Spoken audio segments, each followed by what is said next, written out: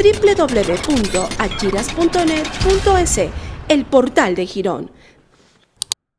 Tenemos una carta de la Liga de Girón que sí nos ponen las condiciones, pero está bien. Posiblemente estamos en esa negociación, los terrenos de la liga van a volver al municipio. No podemos dejar eso que ni se haga ni se deje hacer. Pero la aspiración es que la municipalidad en esos terrenos públicos, aspiramos que sean así, podamos hacer el mayor complejo deportivo y turístico. No tengamos miedo al futuro. ¿no? Algunos tienen miedo, ¿no? De salir, hemos de perder. Hay otros pueblos que lo han hecho y están bien. ¿Cómo se va la gente allá? O a o Pato, o Chapala.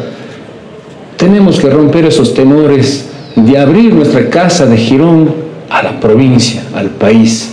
Eso se lo hace solo con obras en las que la gente viene a ver. ¿Por qué aquí lo hizo el malecón?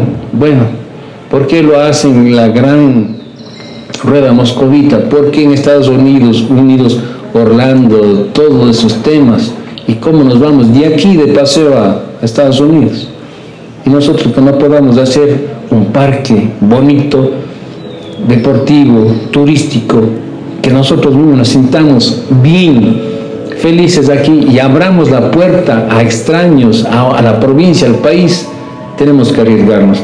En ese sentido, confiamos de estudiar de la mejor manera esta posibilidad y de ser posible, ustedes serán testigos de que el municipio acoja esta donación y la liga será la que administre en todos los temas deportivos, llevarán adelante ellos, porque yo no tengo celos porque si no hacemos ni dejamos de hacer, quien pierde es nuestra niñez, nuestra juventud, nuestras familias.